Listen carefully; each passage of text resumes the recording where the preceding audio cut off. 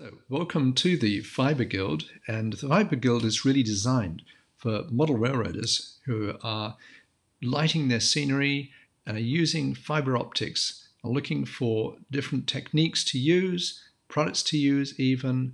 And then once a month, um, we have somebody come on who has really done some in depth work with fiber optics and can talk about um, the advances that they've made in the application of the technology and then provides an opportunity for other modelers to ask questions. And we welcome you to join the Fiber Guild. It's basically open to anybody who's uh, lighting scenery and has questions and thinking about things so that we can actually then um, have a dialogue together. So uh, join us on Dwarvin Ent, which is our handle on Facebook. And then just ask to join the Fiber Guild. Thanks so much. See you on the Fiber Guild.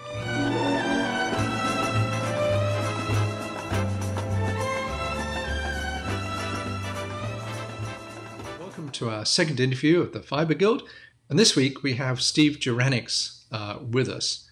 Well, actually, it's not going to be a live interview with Steve. It's pre-recording. If you want to send a message of a question you have for Steve, uh, please put that up. And what I'll do is I'll attempt to answer it um, after Steve's talked. And then if I can't answer that, I'll ask Steve to answer that for you. So Steve actually back in October of 2020 put together an article in Model Railroad Hobbyist called Lighting Effects Using Fiber Optic Strands. And it's that building that he lit that really got um, my attention and obviously uh, the attention of Model Railroad Hobbyist as well. So Steve's really going to describe that for us. But um, let me talk a little bit about Steve. There's the model right behind me. And the um, Steve actually started his modeling career back when he was about 10. He put together a 132 um, World War II tank model. Um, and then when he was 14, he actually entered a competition with a tank diorama and won first place in that from his local uh, model store. So that was pretty pretty good. So here's a picture of Steve with holding the trophy that he, he won at age 14. But Steve also got involved in model train um, building, and here's uh, an image of um, what he did back in 1981.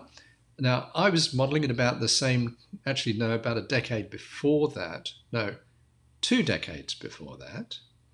But I didn't do nearly the same sort of uh, job that Steve's got going here. But he sort of left that when he was about 16 and then came back to it in his mid 40s. So, without much further ado, let's move over and let's talk to Steve and find out how he designed the lighting for that building. So, Steve, welcome to, to this uh, live broadcast, although we're pre recorded right now but great to have you on the show. It's great to be here, Michael. Thank you for inviting me. Great. Well, Steve, you've done a lot of model railroading. What are you doing right now in terms of model railroading? What, yeah. So I, I, I started my model or back into model railroading in uh, 2010, and uh, it came down. Well, I had to disassemble my uh, layout in 2017, I guess it was, when uh, we decided to build a new house. And um, so uh, the old one came down, Muskoka Central, and it's in the early stages. Um, I have a little bit of bench work uh, put up, and uh, yeah, some big plans for the new house. So. Excellent. But I hear, Steve, that you've actually got some images of what you've done in the past, and um, yeah, tell us briefly how we find that. Yeah, if you um, um, Muskoka Steve is my M U S K O K A is my handle on YouTube, and I think I have probably uh, 20, 20 videos. Uh, I have about um, uh, one to two thousand subscribers um, on uh, on YouTube, and a lot of people were following my progress. Um, I have only posted, I guess, one video in the last three years, but I was pretty active uh, as I was building my last layout.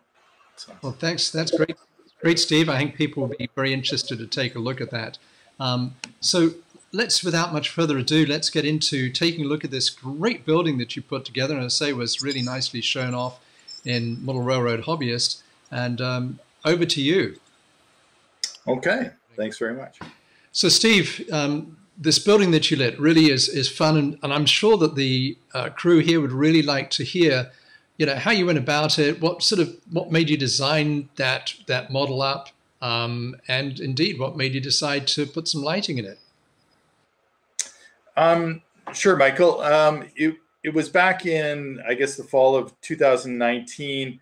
Um, I was working or I was doing a bit of promotion for Imagine That Laser Art.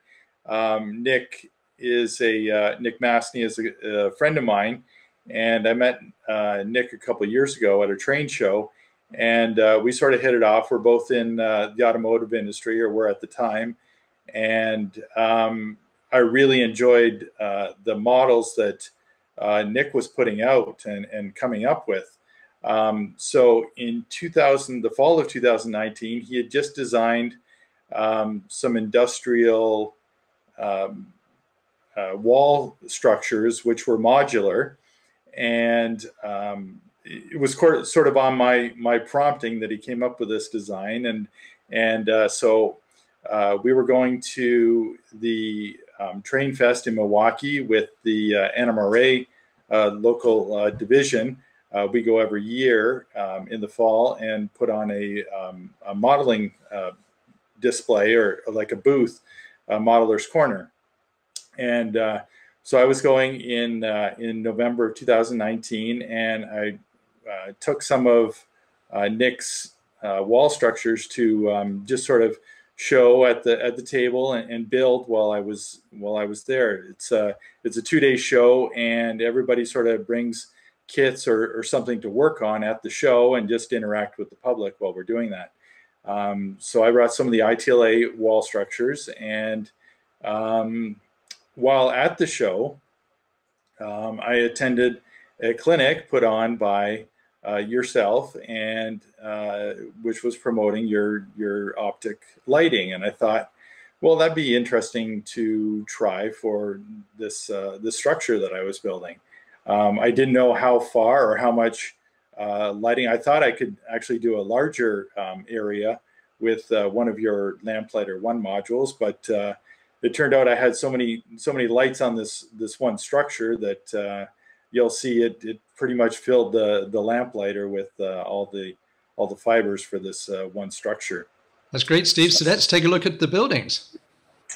Okay, so yeah. So this is the overall structure.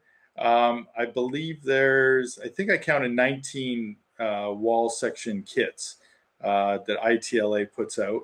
Um, they're all different uh, modules. They're they're all about four panels high, um, but you can um, you can cut them. You can add on to them. I I, I cut out some uh, additional um, structures, just one one panel high to add on um, to this, make this little addition on the top.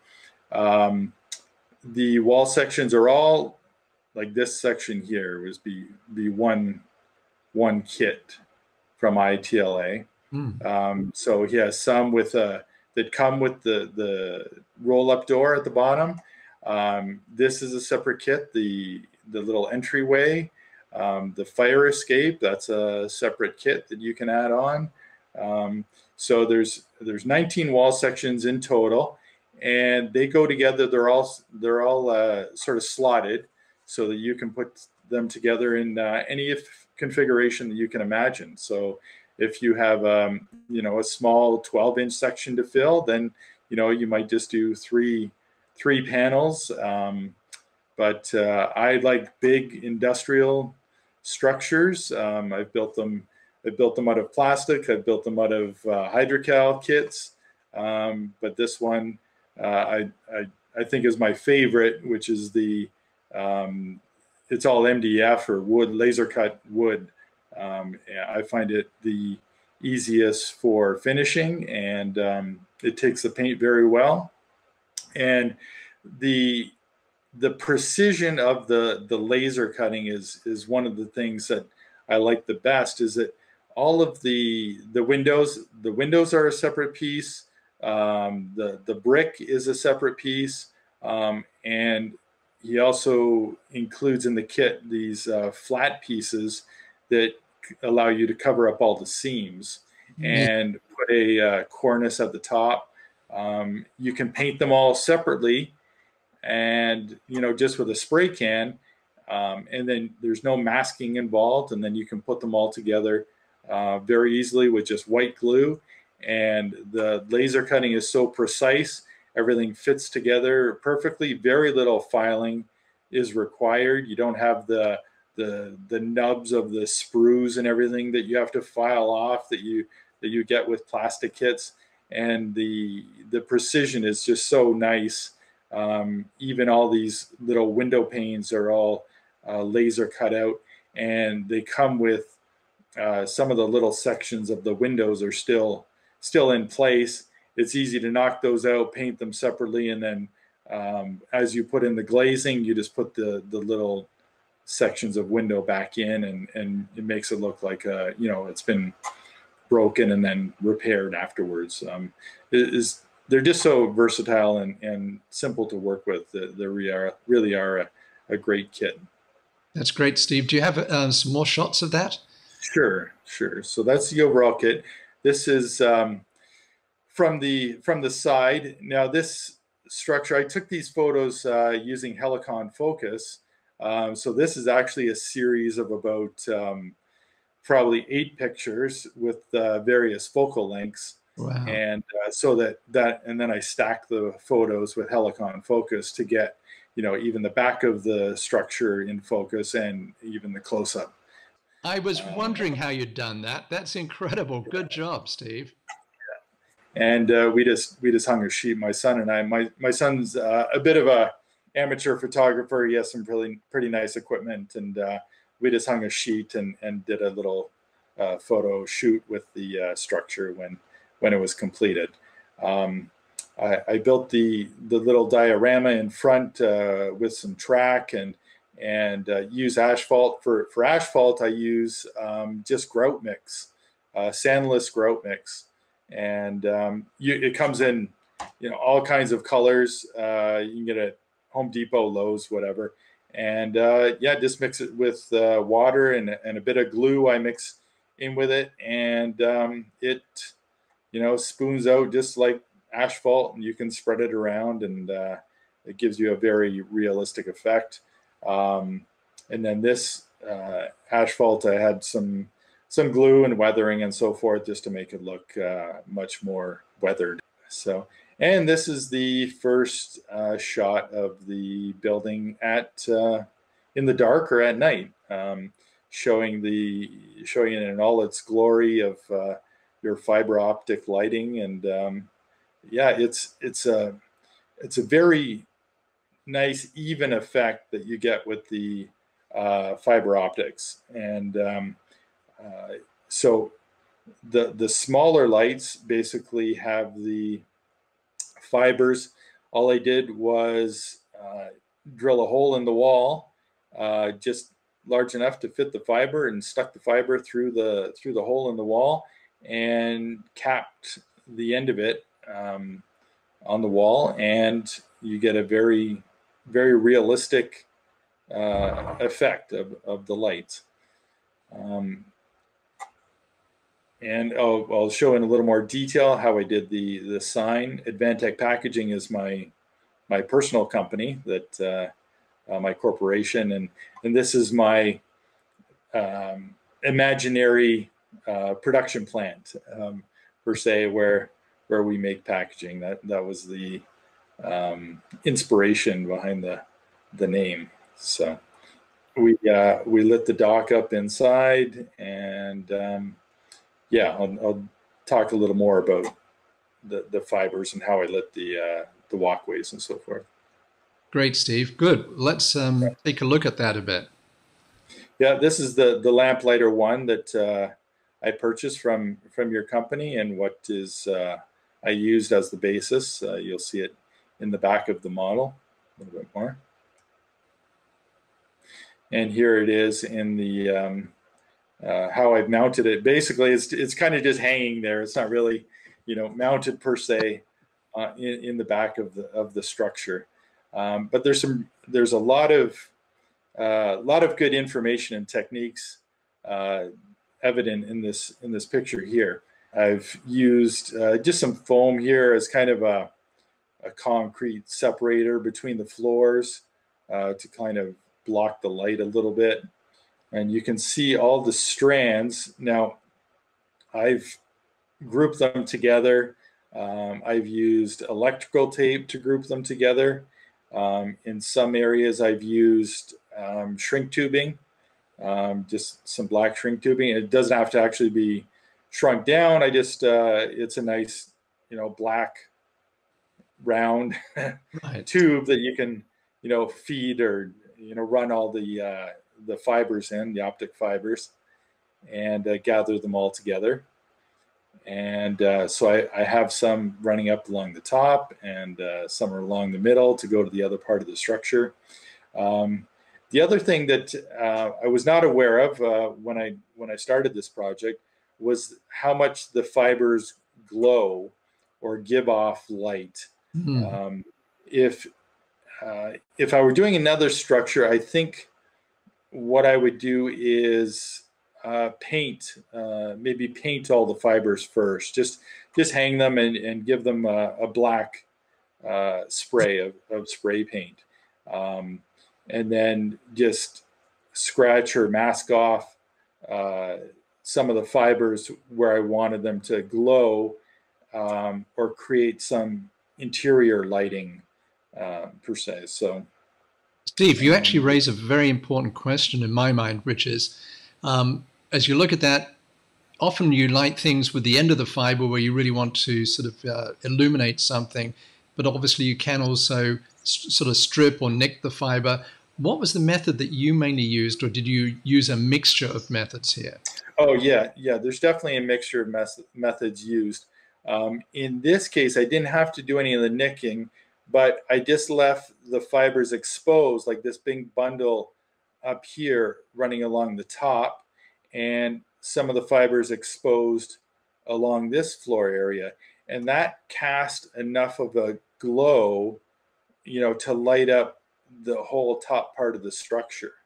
Mm. You know, if I wanted it, um, and I made sure to move the fibers out of, you know, so they're not running right behind the windows, right? Because it's it's it's very evident. You'll see in some of the other pictures, um, you can see the glow of the fiber, the actual fiber, you know, through the windows. So you don't want them. If you have a very shallow structure, you you have to make sure that you move the fibers away from the windows, but they still cast a good enough glow that you don't need, you know, to put individual ends of of fibers all along there.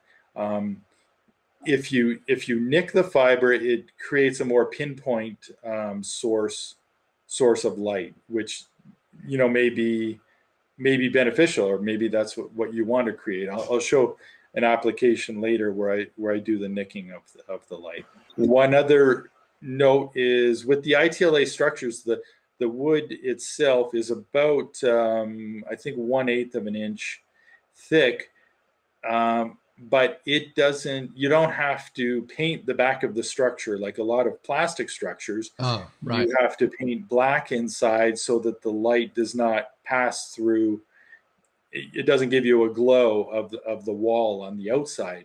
Um, the with the ITLA structures, the wood, it does not leak. The light does not leak through any of the seams or the wall itself. So that's that's another benefit of the of the ITLA. So and here's another close up of the of the lamplighter itself, and you can see some more bracing that I've done inside the the model. And uh, all the fibers. I, I pretty much maxed out the the lamplighter. They are in there in that uh, that port quite uh, tight. Okay, and here it is, uh, the back uh, all lit up, and you can see how your how the um, the fibers glow, you know, where they're left exposed, and um, how this is areas where they're covered up. So See, that's really interesting because every building I've done, I've just used a um, single fiber sticking up. So actually having something where you're using the side glow of the fiber, I think is particularly interesting. I'm going to have to try that technique on my own layout, Steve. Yeah, I mean, you're you're you're eliminating. You know, you probably need, you know, three or four, you know, small LEDs on the back of this wall in order to get uh, a similar effect where you you're you're getting it all the whole floor sort of lit up right. you know just from just from running the one fiber. And then over in the dock area i have the end of a fiber. You can see the quite bright glow here um, and that is the end of a fiber just kind of over top of the whole room lighting up the room there uh, making the overhead door lights okay so on the loading docks, uh, this is a very good close-up of these industrial lights. I, I searched forever to try and find, you know, just a basic wall industrial light. You, you see the gooseneck lights all over the place, right? But uh, my era is uh, more of the sort of mid 80s, 1980s. Um, and GP9s, SD40s, uh, those are my my favorites. And um, so I wanted to, I didn't want the gooseneck lights. I wanted a more industrial looking, you know, wall sconce. And I did these ones just with some uh, styrene sort of uh, U channel. And then I just cut a small piece off and capped the end of it and just stuck that on the wall and have a, uh, a hole in the wall with the fiber, just the end of the fiber just sticking out of the bottom of that light. Now, since then, I've gotten uh, some 3D printed, which are about uh, three millimeters by two millimeters high.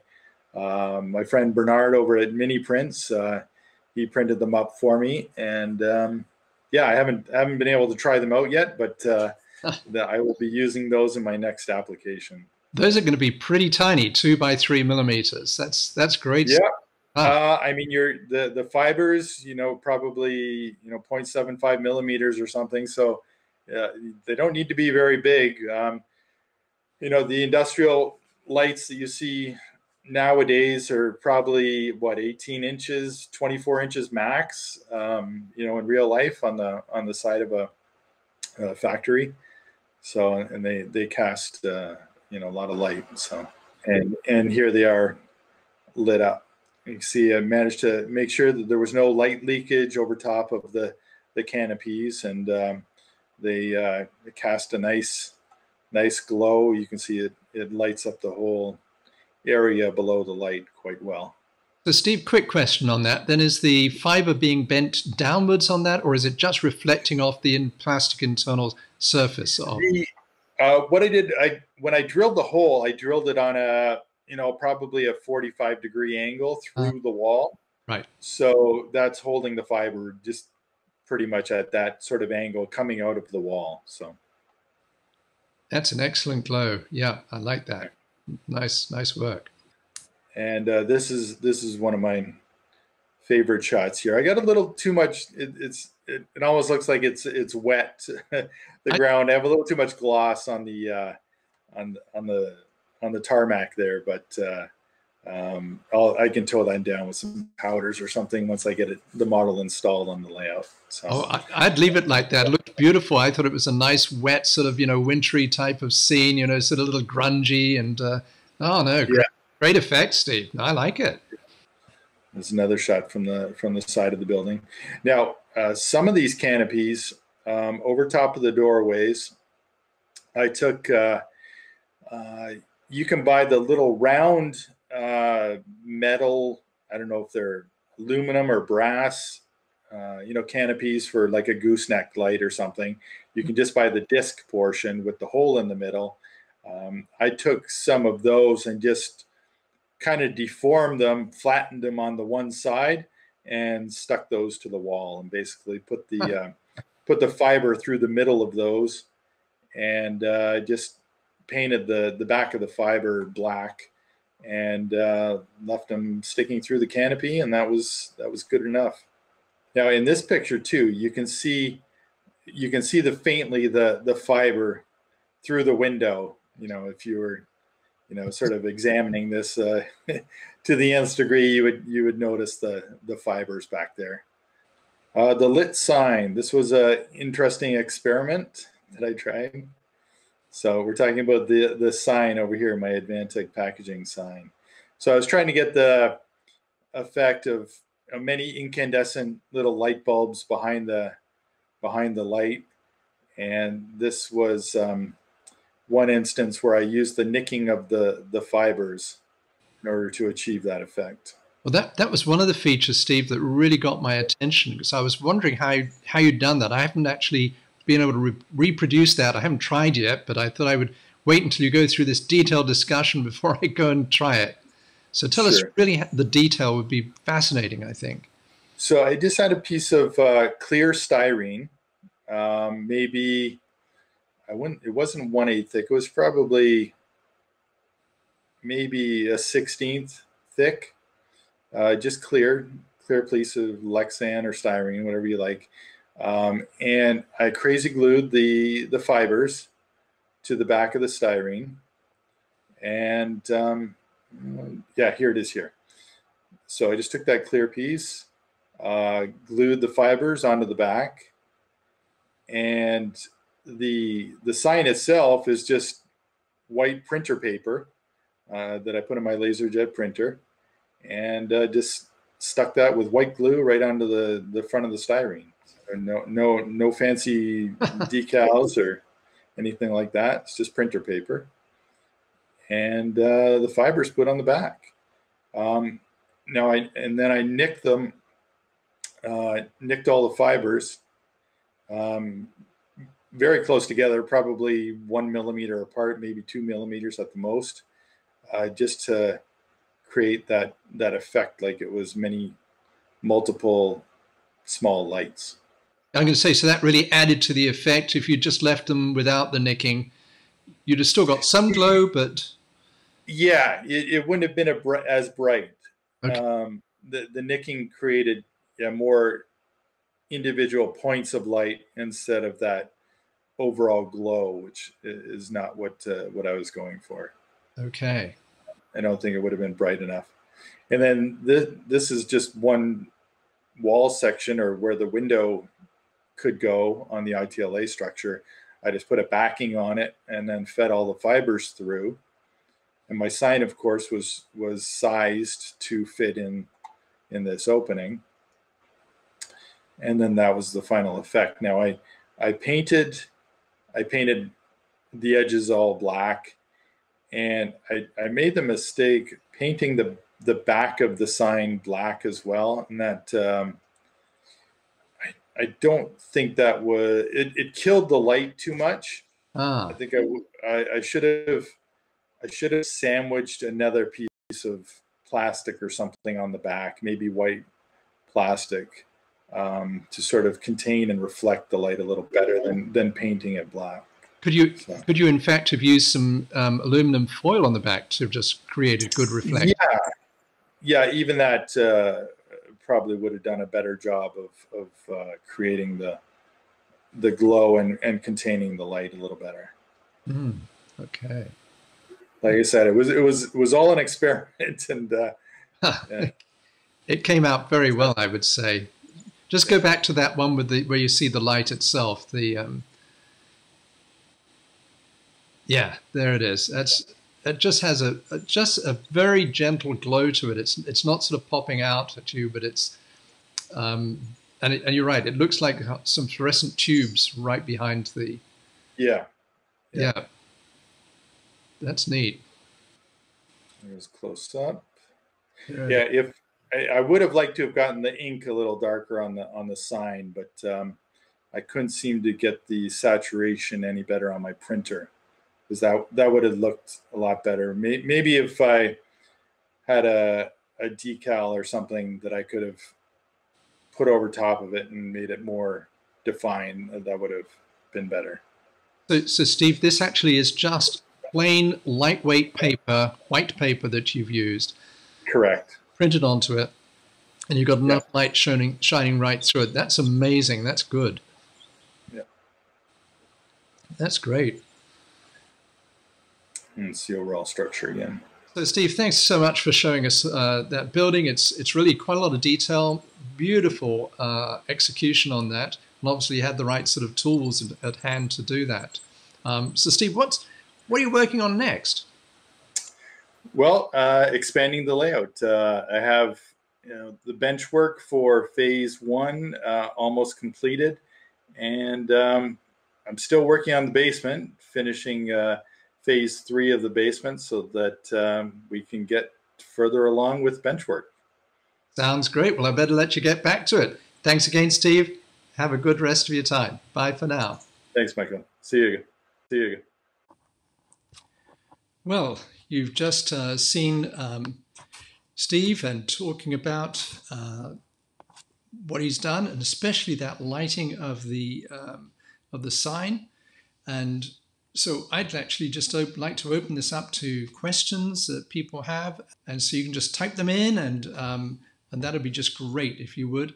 So actually, one of the things that stimulated me, you know, creating the the um, the lighting piece, and I, I, just decided that I would have a little bit of fun. So while you, while I'm waiting for some questions, I just want to show you a couple of things. So a sign that I just put together.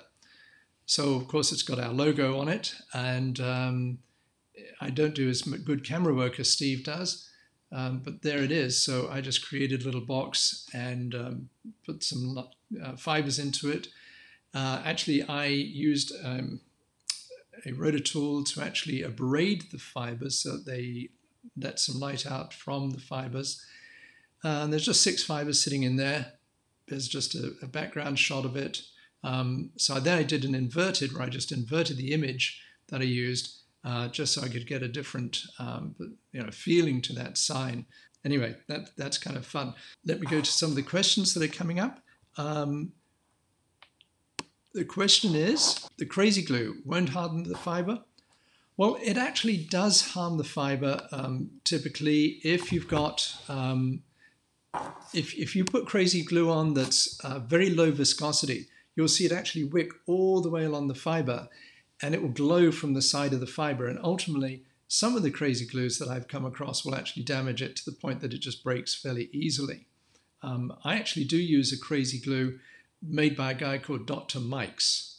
Um, it doesn't have some of the additives that you'd find in the Home Depot or Lowe's uh, crazy glue material, and I think is quite a bit more gentle with the fiber. But nevertheless, uh, in fact, he has well, he has a high viscosity one. That's much easier to use. So here's another one. Let me pull this one up. So Michael, I was curious on the light boxes you've got. Any chance you'll make one that has a dimmer function included? Well, it's funny you should ask that because what I did was recently I came out with an RF controller and the RF controller has a beautiful dimming function. All you do is you just take the wall wart plug and you come into the um, this basically an RF uh, receiver. It just plugs straight on one side. The other side plugs straight into the Lamplighter and it has a dimming function um, that is continuous. You can also change whether it's going to blink and flash, and you create an emergency scene with you know rapid flashing, that sort of thing. Obviously, all the fibers flash at once because it's controlling the whole box. But that's certainly uh, one way that you can do that. So, great question. Uh, you mentioned you spray painted some of the fibers, taped some, and used shrink tubing. All good ideas for covering the glow of the fiber where you want unwanted, where you don't want unwanted light. Yeah, yeah. So I think that's more of a comment. Um, it's certainly a great idea. Uh, I found I can use the heat shrink tubing, something like a one millimeter diameter. Will actually even uh, you can put a 1.5 down it, and it just slides straight down that tube. You don't need a heat shrink at all. It's just and it's very cheap stuff to be able to put on. So it's a great, great thing to use. Well, I'd like to thank um, Steve for doing this presentation with me. Um, it stimulated me with a lot of thinking. I'm actually looking at now some uh, industrial lights uh, for the doors, such as what Steve has created. I've just created a light box. So obviously, it's, it's stimulating me to, to do some work as well. Um, oh, here, here's a question. Um, here we go. How much can bend the fiber before you have issues with the light? Okay, great question. Um, there's a very simple answer to that. And typically, it's about five times the diameter of the fiber for the bend, the radius of that bend. But the easiest way to do it, and by the way, I use boiling water, very simple. And if you create a, just put two aluminum tubes onto the fiber, so basically it's straight, put it into boiling water, bend it, and then as you bend it, you're going to find that um, the bend will, can be nice, fairly gentle. Um, and then what I do is I just put some light through it and see if I've bent it too far. Um, that way you can easily see whether you've bent too much. You'll always get some loss, um, but when it starts to glow out of the out of that bend, you've gone way too far with it. So, great question on that. For, I just put this down here today because uh, some of you won't obviously be watching it on the Fiber Guild. Um, it'll be on our YouTube channel. So we'll actually then, uh, you can get to it through Dwarvin Ent and um, asking to join the Fiber Guild. But thanks so much for watching. I look forward to emails you send and so will Steve too. But congratulations, Steve, on a great job um, with this building. It really is spectacular as far as I'm concerned. I've, I don't think I could reproduce a building like this on my own layout. So thanks a lot. And uh, okay, and that's all from now. Um, see you in another month's time. Blessings. Bye for now.